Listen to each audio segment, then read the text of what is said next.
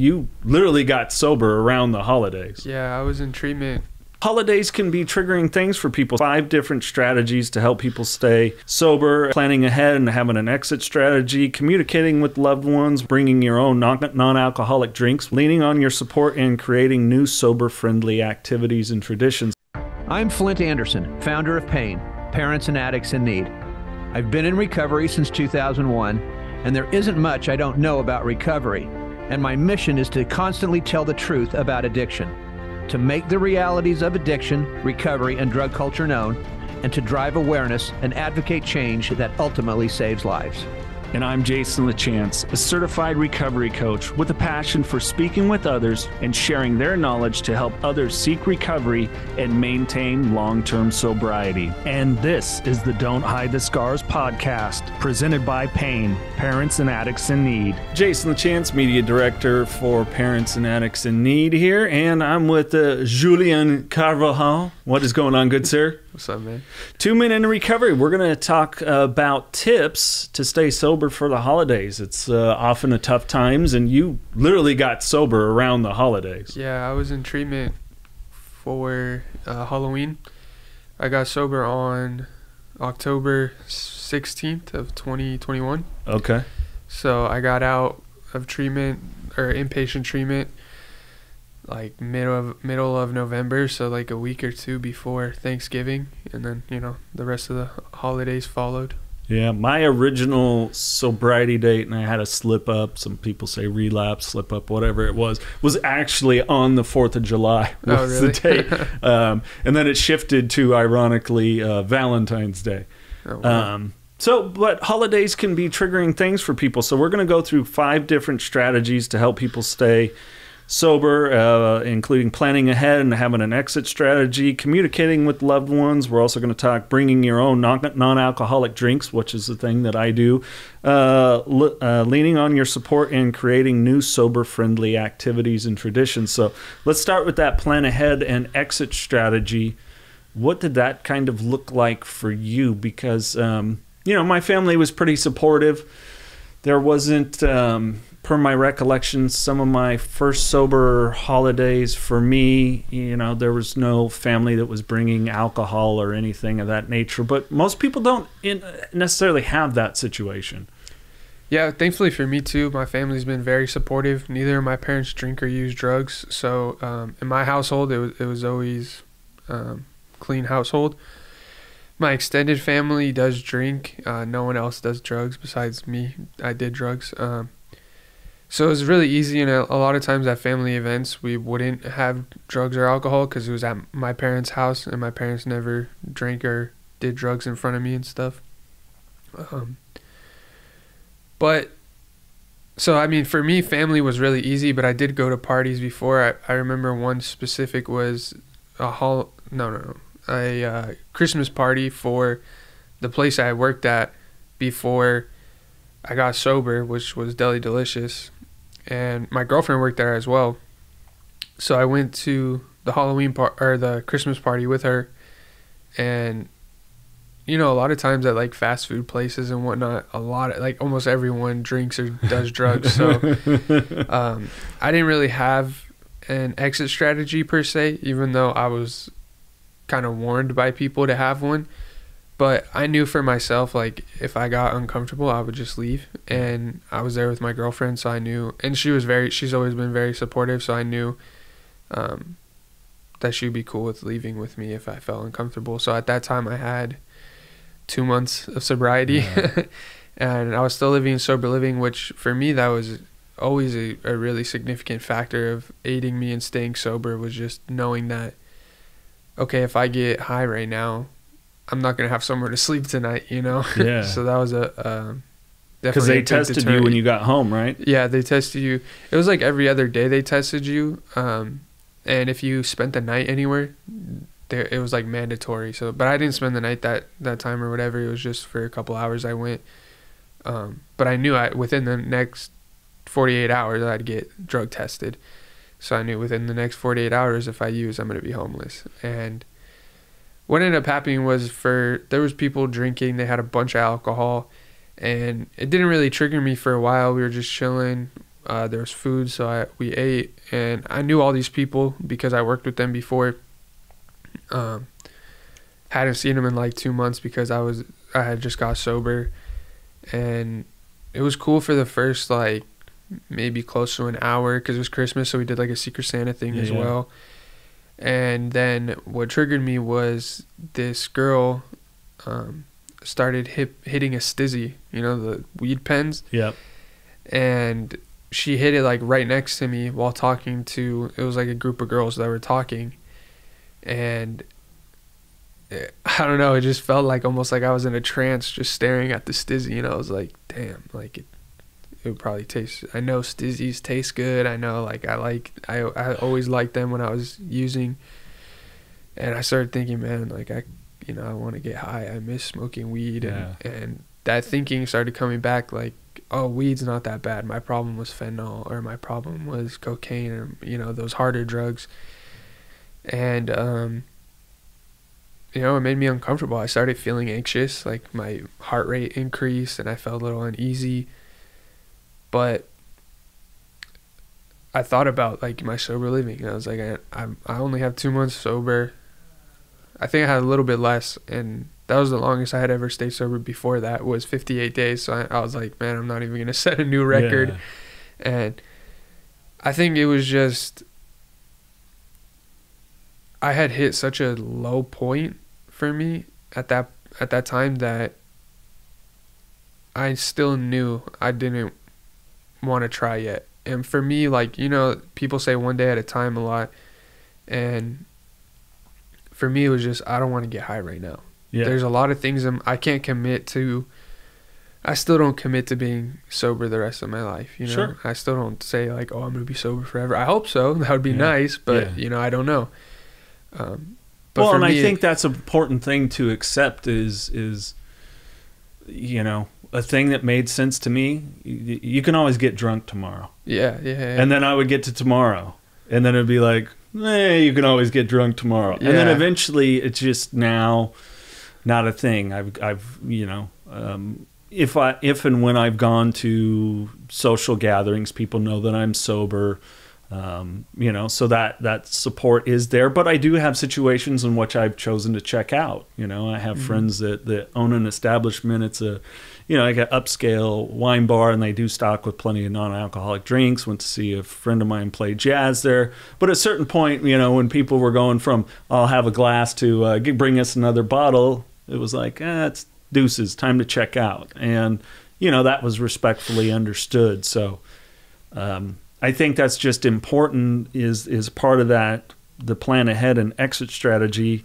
is that it really is on us, and that's an exciting Yeah. thing. Like it's our response. Like wait a minute, I get responsibility now. yeah, and I get to control something in my life finally. right. Yeah, because when you're using, you just feel so out of control. It's, Oh, yeah. it's nice to have something like I get to actually control where I am and what I do. Yeah. I get to control my actions, and that's at um, that story I was telling. Eventually, I did. I felt uncomfortable. People started drinking more and and continued to smoke weed, and so eventually, I was, I told my girlfriend like, "Hey, I'm I'm not comfortable. Can we leave? Like, I'm I'm gonna leave. Do you, are you cool if, with coming with me?" And because we drove together, obviously. So, um, she was like, "Yeah, that's fine." So sh we said our goodbyes and left, and um, it was just knowing that I wish I would have planned ahead, but I I knew always that I had the option of leaving, Yeah. and that definitely made me feel more in control of myself, and that I could say no, you know. Yeah. And it gave me that confidence to be able to say no. And I didn't tell anyone. At the time I still felt very uncomfortable saying that I was an addict or that I didn't do drugs or that anything. And uh, you know, they offered me drinks and, and to smoke weed and I just said no, I'm good, you know, I gotta drive. And that's honestly that's always been my excuse whenever I go to parties and stuff. I'm like, oh no, I'm the I'm driving. You know, I, whenever I show up somewhere, I'm always the one driving. So Well, and it's good, just say Ha- that. and, and I think that's important with the that goes along with this plan ahead and have an exit strategy. Is you don't owe anyone any in-depth explanation. Yeah. It could be as simple as I'm driving, uh, I'm on antibiotics, whatever it is. people never care either. Yeah. I was surprised when I first got sober. People really don't care if you say anything, they're just like, okay. Yeah. Like, most people, unless they're like a addict who was trying to get, you know, like misery loves company, unless they're really trying to get someone to use with them because they feel like shit themselves, they're not gonna care what you say. They're gonna be like, all right, cool, and just Yeah. move on. You know. New Perceptions North, the premier drug and alcohol treatment and recovery center in Central California. A full continuum of medically supervised, top quality care with programs for detox and patient residential treatment with dual diagnosis, intensive outpatient treatment, sober living support groups, and more. New Perceptions North provides adult men and women with the highest caliber of professional health care, treating each client with compassion and respect in a safe, comfortable environment to begin the process of recovery to proudly create and sustain a life without addiction. Call 559 978 1507 or visit newperceptionsnorth.com.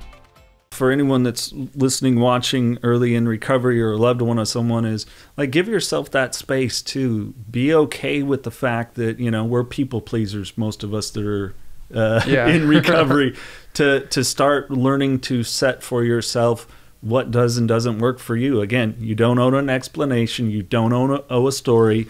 It's as simple as no thank you or I'm driving, I'm on antibiotics, whatever reason it is that you want to give, keep it nice, short, whatever. You don't owe that explanation. And I think the more that you exercise that, the more beneficial um, it becomes because you've started to develop a skill. You're like, wow, wait a minute, I said no, and and I'm good, and everything's good, you know. So so have that, have a plan, uh, execute that plan, and and keep the exit strategy. I even tell people like. If at a point it gets uncomfortable, just leave. You don't owe like goodbyes or anything else. At the end of the day, this is your life. Like, you know, you might be like, well, that's rude. Sure, but so would everybody showing up to your funeral. I think that's Yeah. even more rude. So Yeah. just have it. Just have it. Like have a plan. It's Yeah. simple. It's not daunting. It's as simple as like you said, I'm driving, I'm on antibiotics or no thank you and then know your point of exit much like you that that and luckily you had that person with you cuz I definitely Yeah. recommend early in recovery if you're going to a place, Don't go alone for sure. don't go alone. Yeah. So that that was another thing for me too was that you know I went with my girlfriend. She, I mean, I think she, I've seen her drink five times. You know, so she doesn't. Rare, she rarely ever drinks, and um, I think it's very important to have someone with you that supports your recovery, understands what you're going through to a degree, and um, is willing to leave with you when you're Yeah. ready to leave, and is there to to help basically support you Yep. in, in that because I, I didn't want to say like oh I can't drink or this or that and I didn't want to be the at the time I felt so self-conscious about so many things that even just saying like I felt like I had to explain why I was leaving or people Yeah. would think something's wrong with me you know so it was so much easier for her to say hey we're leaving and then Yeah. me just say bye to whoever Yeah. you know Yeah. Well, and I think that's important of of our second tip to stay sober is that communicating with loved ones. Yeah. You, your girlfriend, you know, whomever invites you to the party, whatever it is, just communicate your needs or at least have an individual that you can, you Yeah, know. definitely. Um you know, I mean, you're a trial by fire situation because for me, if someone asked me if I had a sponsee or somebody I'm doing recovery coaching with, and they're like, "Oh, I got this party," you know, I might converse with them and ask them the why of one why they want to go. Like, is this a big why? Is is this like a life and death? You must be there. Like, this isn't a funeral service. This isn't, you know. Um, but if they're seem determined, I always just tell them, yeah, make sure that you are in constant contact with someone, that you've got Yeah. maybe several people um, that can be at the ready to kind of answer the phone or or are there and available, whatever it is, because that communication is key. We we as people, no matter what it is, need support, and especially early in our recovery, it's really fragile. Yeah, yeah. And I think for sure, um, I was just thinking this having someone that's gonna hold you accountable and Mm. and being honest with that person, like, hey, you know, I'm feeling this way or that way, or I need you know, sometimes you need to tell people to hold you accountable because Mhm. they don't know what you need until you tell them. And I have a I have a friend. Well, who- sometimes we don't even know what we need. yeah, true. I have a friend right now who his family is um, big enablers, and uh, he's been sober for a little over a week, and he's he's been in and out several times, but he came to me because he's like, dude, no one holds me accountable. I told my mom that no one that she's hurting me because she's not holding me accountable, and the mom breaks down crying, and he ends up having to like console her, but.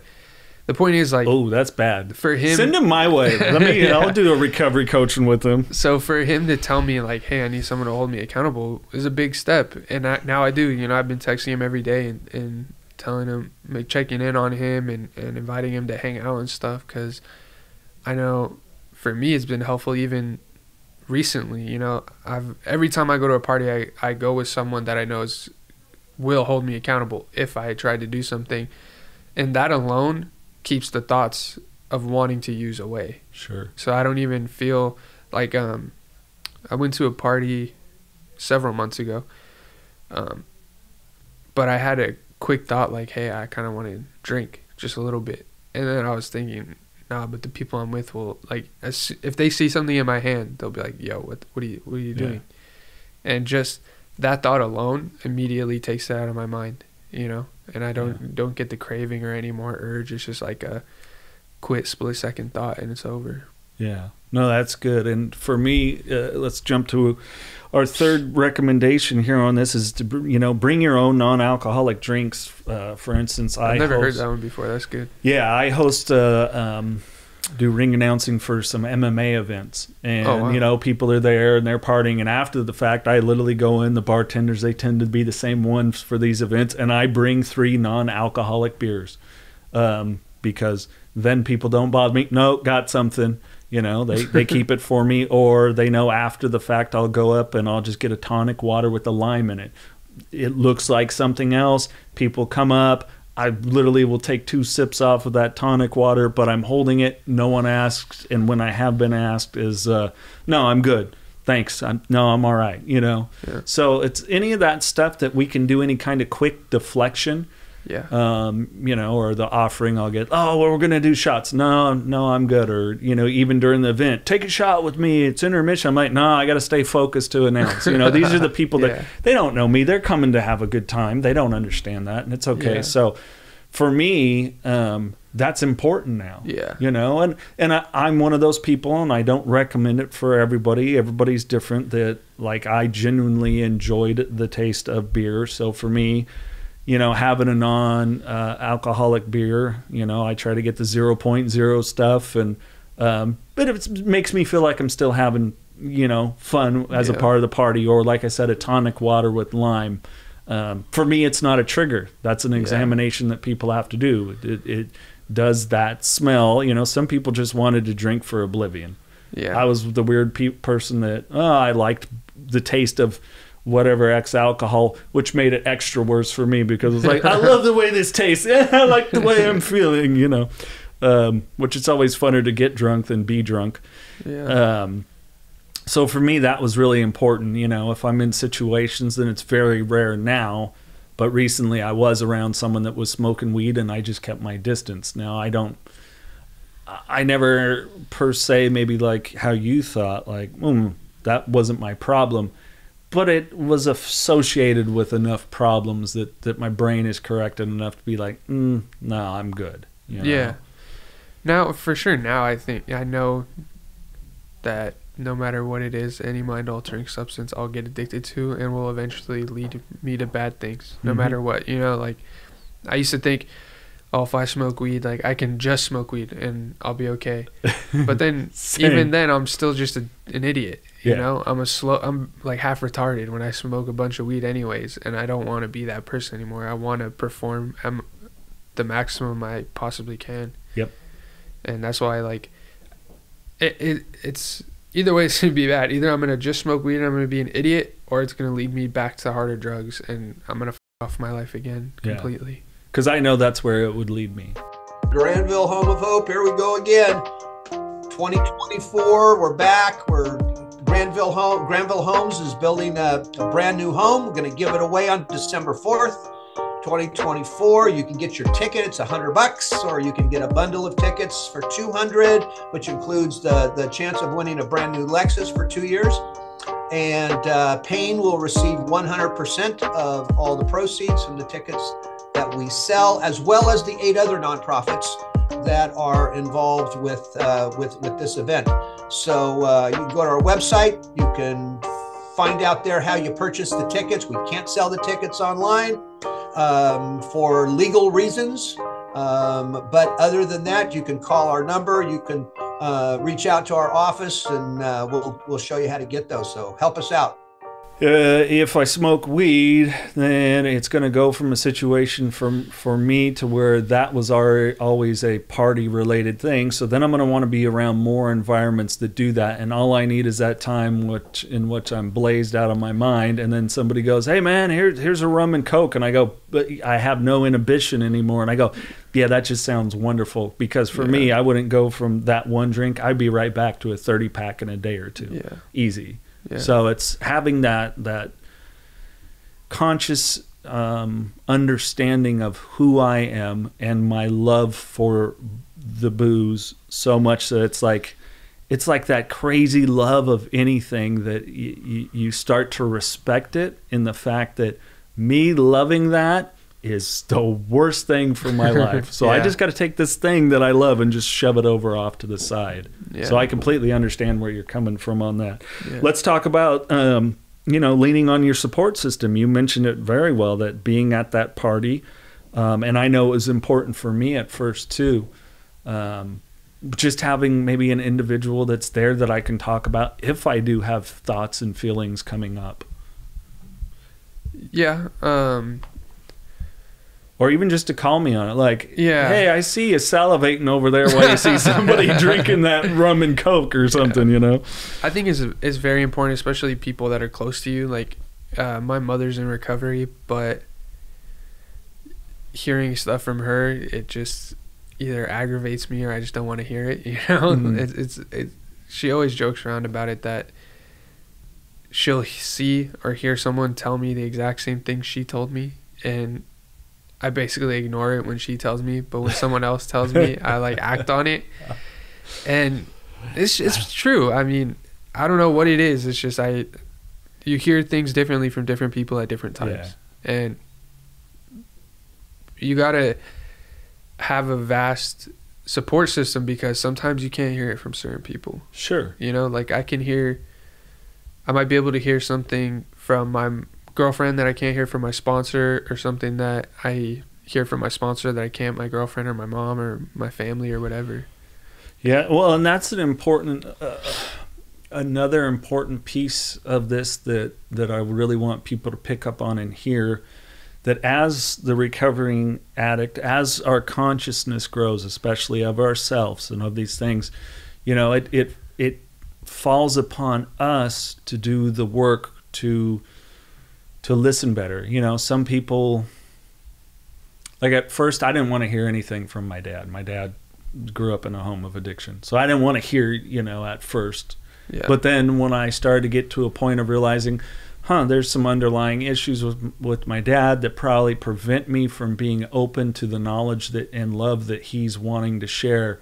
Um, and that's on me to receive it or not yeah. not them. And maybe he doesn't deliver every message in the way that I would like, but that's okay for me then to communicate. Like, am I understanding what you're saying? Like, like because I didn't really care for X out of yeah. the whole, you know, whatever it is.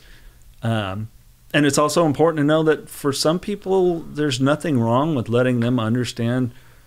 I don't think you're the one I want to converse with about this, or yeah. I have someone that I can converse with about this. Like, the last person I would want to talk with about you know the emotions around a relationship uh, now that I'm sober is either of my parents. like I'm sorry, I don't want to talk to you about these things. I don't yeah. want to talk to you about the insecurities that come along with it. Yeah, you know, definitely. for me, booze and women went hand in hand, and now I'm having to deal yeah. with these real feelings that are real, not based on oh, you're so gorgeous, you know, because I'm blitzed yeah. out of my mind. But like, ooh, I really have real emotions here. Um, so sometimes, yeah, it's it's okay to examine your support system and and evaluate that as much as it maybe it's a uh, the intention of the message is loving that this isn't the person to deliver it. Yeah, definitely. I think it's important that you you've touched on it multiple times about examining yourself and in these different relationships. That comes from uh, trials, you know, yeah. testing stuff out. I didn't know how I would react to that specific party when I went. I didn't know how I'd react to being around drugs or alcohol for the first time. You know, a lot of this stuff you have to find out by doing it. Mm-hmm. And that's why it's so important to have these uh, safeguards in place because you don't know. Maybe you don't react at all. Maybe someone drinks right next to you and you feel nothing, you don't care, you barely even notice. Or you know, you're like freaking out, skin is itchy because you want to drink so bad, you know? and it's important to reflect a lot. And I think that's the first year of recovery, it's really about that because I am such a completely different person now than I was before. And you don't realize it immediately. You don't realize the change until you've been sober a while and that's why it's important to keep I mean, every day, examine yourself, learn new things about yourself because you're changing, but you don't really know who you ever were because yeah. the drugs and alcohol are masking who you really are. You're just you're basically an animal just chasing this high. Yeah. So you're not like a real person. So it's important to to learn those things and like you said with with different people, my my grandma bless her heart, she's she said some things to me that like make me want to get pissed off at her. like if my mom said it, I would be super pissed. But because I know she's almost 90 now, but um, I know she comes from Mexico, doesn't speak English, right. very traditional. Mija. yeah. and so she'll say things that I know the she means sorry. it. I know she means it like very loving, but she'll tell me things like she she literally told me when I got sober, like, just grab your balls, man, up and and don't do it anymore. Right. And I was like, that's not how it works. But if I, it was only yeah, that simple, if it was only that simple, I would have been grabbing my nuts a long time ago. But but I know that she means it very well, and that's. I mean that's what, but that's what my grandfather did. Sure. He drank alcoholically, and then he just stopped because he, you know, something happened and it and it was detrimental to his relationship with my grandma. And basically to save their marriage he completely stopped. And from then on he was I mean he was one of the most pleasant people I've ever met in my life you know and I really looked up to him. And my dad was the same way. And he stopped drinking when he met my mom. And I'm just not that person, man. Yeah. I, I, I, mean, they they were definitely heavy drinkers, but I don't think they crossed the line into alcoholism. Sure, definitely did uh, for well, and that's the, the the interesting thing about alcoholism. And some people, it, it you know, we've got the term substance uh, use disorder, and they want to have that override the word addiction because it's more kind. The reality is, some people are just going to abuse substances yeah. Some people are full blown addicts. Yeah. Like for me, I tried some pills and powders. Not a single one was like anything, but boy, I could not quit alcohol. Yeah. I just couldn't. My brother, Normie, he he can drink like a totally normal, like he can purchase. Yeah.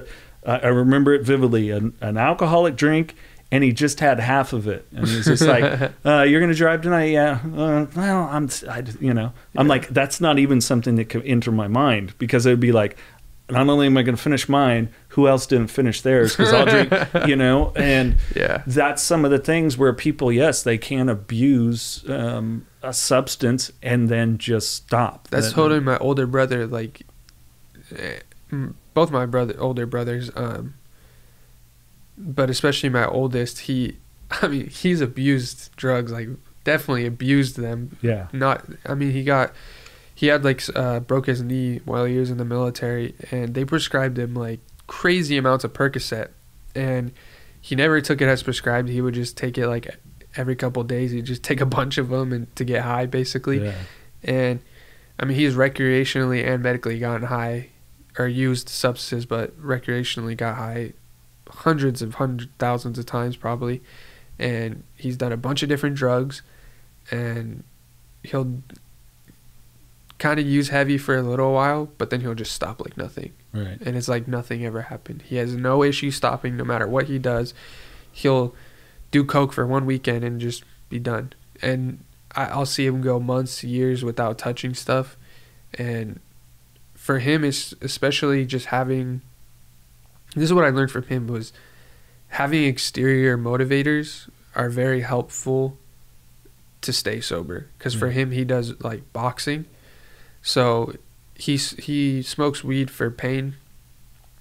Um, but he'll smoke weed like two three months out of the year, like every day. Stop for a month or two and then like just cycle like that. But when he's training uh, for a fight, he'll he won't use anything, bro, like at all. Yeah. And then maybe you know the fight's over and and he'll do coke for a weekend and drink and whatever, and then that next Monday, bro, back to training, touches nothing. And you know I'm not, I'm not that person. If I Yeah. touch anything, I'm I'm going hard for as long as I can. But that motivator is really helpful for me in my sobriety because he's that. That's why I say now I want to f- function at my peak level, Yeah. and he's the one who taught me that, and and that's what I want all the time. Is I don't miss being zonked out, falling asleep, uh, not being able to think properly. Like I, after my first year of sobriety, I really started getting my mental state back, and being able to function properly was like a beautiful thing to me. Yeah. Well, and I think that's why it's important. You know, not everybody's pathway is maybe 12 steps, doing 12 step recovery stuff. Both you and I have do. Yeah. Uh, it, it's helpful for us is, is that at the end of the day, no matter what, like the 12 steps is a worthy endeavor. Uh, Absolutely. counseling is a worthy endeavor. Finding a mentor, all these things are all worthy endeavors because we do need that support system. And And I think you should try all of them. Yeah, it doesn't I- hurt. yeah, I, no, more, I'm, the I'm big on know? try them all. You know, like I Yeah. I I, say all the time, I used to experiment with chemicals. Now I experiment with with uh, progress in life, and what does it mean for me to you know be with it and and present. You know. 365 days a year 24 7 like you know i want my life to be something better doesn't mean i don't struggle i still have confidence issues i still question Yeah. my abilities i still uh, question my worth within my relationship. You know, all Yeah. these things. It doesn't mean they go away, but it's just nothing about those thoughts, feelings, anything else leads me to want to use anymore. It's like not Yeah, even yeah. a thought in my mind. Like I'm, I've done the work for that just immediate. If it does something come up, the thoughts are so fleeting and so quick yeah. you know and i i think that's the trick and that importance of this holiday season and maybe 12 steps aren't your thing but try it for a while Yeah. or or you know like hey if you have a therapist guess what they're probably going to be on vacation so have someone else Yeah. that's maybe more readily available maybe it's a sober friend maybe they're in 12 steps but that's not your thing. Uh, whatever it is uh, like i go to church maybe it's somebody at church whatever it is just have someone that gets it you Yeah, know because absolutely. because it is it's such a trying time. So many emotions around maybe why we started to use in the first place or um, you know whatever it is. Maybe it's that family member that might be at a gathering you know that uh, you know maybe you got a question am i going to go to that gathering which Yeah. leads me to the the final topic i want to close on here is don't be afraid to create new sober friendly traditions you know Yeah. people know when they come to my house if we have a gathering uh, and we have had people over that that drink is don't bring it to my house Yeah. like it's my house Yeah. you know um, enjoy this with us in this capacity and we're not forcing and we also don't judge like no it's thanksgiving and i want to have some wine or whatever okay no offense we're not offended yeah please do you do you do your holiday wherever you want but in our home that's our way Yeah. That's Uh, exactly how my parents do it. yeah Yeah.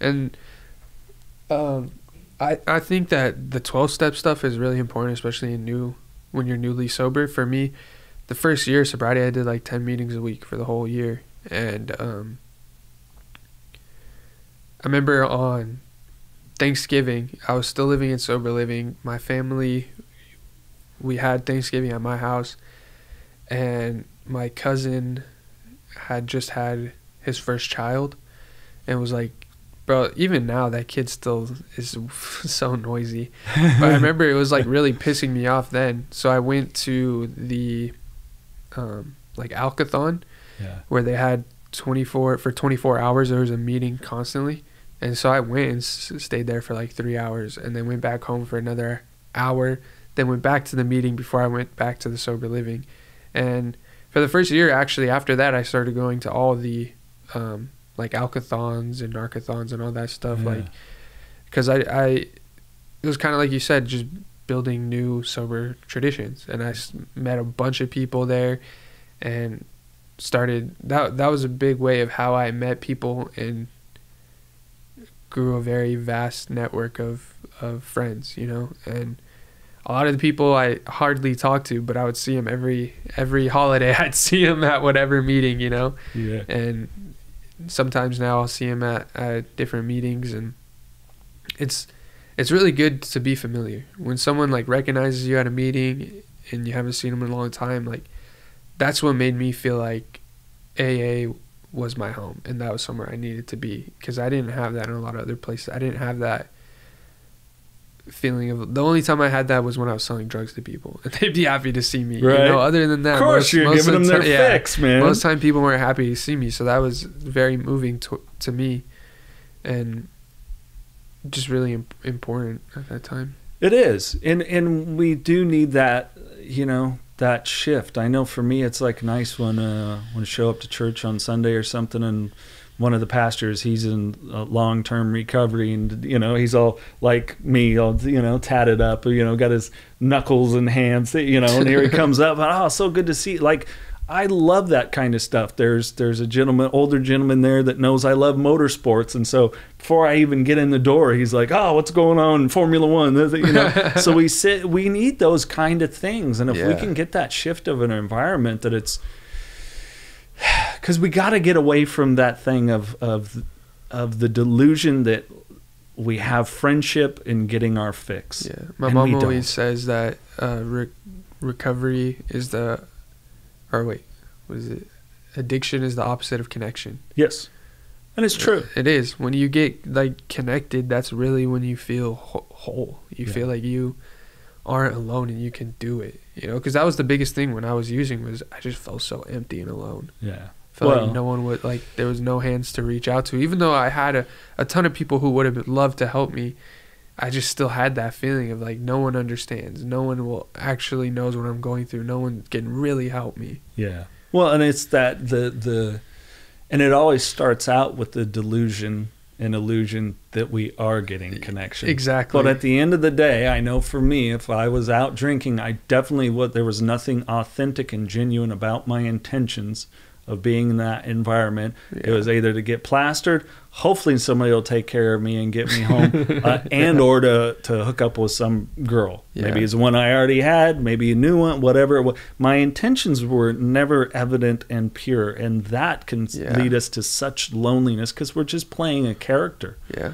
um, and that's the dangers of it. So that's why I really say, you know, closing with that topic, start your new ones, like you said, go to those those you know Sober Alcoholic. Anonymous, you know, marathons, whatever it is, like be willing, um, and maybe like if a stranger reached out to me and said. Hey, I've seen what you're doing. I live in town. I'm so uncomfortable going to a meeting. Um, what would be your recommendation? Be like, this is a meeting. Where do you need me to pick you up? Yeah. I'll take you and introduce you to people. Like sometimes, you know, our shyness is is there. A lot of us, I had to drink. I'm not naturally an extrovert, Yeah, me neither. you know. But when I would, I was like, oh yeah, and everybody, oh Yeah. that guy is confident. No, I was a jackass. Yeah. Um, belligerent. yeah, belligerent. Oh yeah, it just took a little Yeah. time. Uh, so whatever it is, you know, don't be afraid to do that. Have someone help get you involved with something. Let them know it's part of that support and vulnerability. Just like it's not my strong suit, but can you help me kind of get acclimated? Because I know what you mean when you show up to a meeting, even if it's been like a month or Yeah. something, and I'll show up to. I don't go as frequently as I used to, um, but if I show up. there's like five people smiling, like, man, so good to see you. Yeah. And it, and that's good. Yeah, that genuine love that you get from people, um, it's priceless. Yeah, and I think it's important to not be afraid to talk to people because I was afraid when I first got sober. Like, what if this person doesn't like me? What if I say the wrong thing, and they don't want to talk to me ever again? But especially people that you see that are active in the community, reach out to those people because they love it. They love it every time. They're excited for new people to talk Yeah. to them, and that's the stuff that'll be the most beneficial. Like um, on Halloween, they had this thing down in downtown Fresno where it was like a Halloween party, sober Halloween party, and it was like family friendly. They had bounce houses for the kids and all this stuff. And going to that, I remember like I went to it the first year and I was with a group of friends and I felt super nervous to talk to anyone outside of my group of friends. And at that time, it was like I think it was right when I had a year and I still had that anxiety of Mm. talking to people I didn't know because there were so many people I didn't know there. But I talked to one guy who I hadn't met before, and I saw him doing a lot of activities, like setting stuff up, and I knew he was very involved. And I went and talked to him, and he was like super excited that I was talking to him. And I remember that that feeling of like, oh wow, I'm not bothering this guy. Like it's actually a good thing. Was Yeah. was really nice, and I just recommend that to everyone else to really reach out to people, no matter who it is. And if you have time, reach out to the people that are new because they're Yeah. probably too scared to do it, but they want someone to come ask for that connection. Yeah. And people who, if you're new and, and you see people that are active, and especially the people that are active by anyone, but especially the people that are active, they're always the most pleasant and, and they're really excited to meet new people Yeah. and get new people involved. Yeah, I mean, and, and if you're in and around the uh, Central Valley, around the Fresno area, I'm up in the Merced County, and you're seeing and hearing this, send us an email. The email's in there, and just say, hey, I want to get connected. I guarantee you, Julian, myself, like we'll, we'll give you a call or an email back, or if you reach out through social media, we'll figure it out. We'll help you get Yeah. to, to a meeting. Maybe if it's your first time or you've you've gone, but you know it didn't work out. You know, don't be afraid. You know, we that's what we do. Like like we're excited to give back. Yeah. You know, so anything else you want to add? Reach out, people. That's it. That's it. All right. Hey, thanks for uh, either Happy watching. holidays. Happy holidays, right? Uh, thanks for either watching on YouTube. Of course, it's at Pain Nonprofit on YouTube. Please uh, like this video. Leave some comments down below. Maybe there's some tips that Julian and I missed that really help you. Uh, leave them down there to help out other people. And uh, please, if you got value out of the podcast, uh, share it with others. And don't forget, we're also on Apple Podcast and Spotify. All you got to do is search Parents and Addicts in Need. If you or a loved one is struggling with addiction, please call PAIN, Parents and Addicts in Need, at 559 579 1551 or visit us online at painnonprofit.org. Follow us on social media on Facebook, Twitter, Instagram, and TikTok at Pain Nonprofit. And please subscribe to the Don't Hide the Scars podcast and share with others wherever you get podcasts and on YouTube.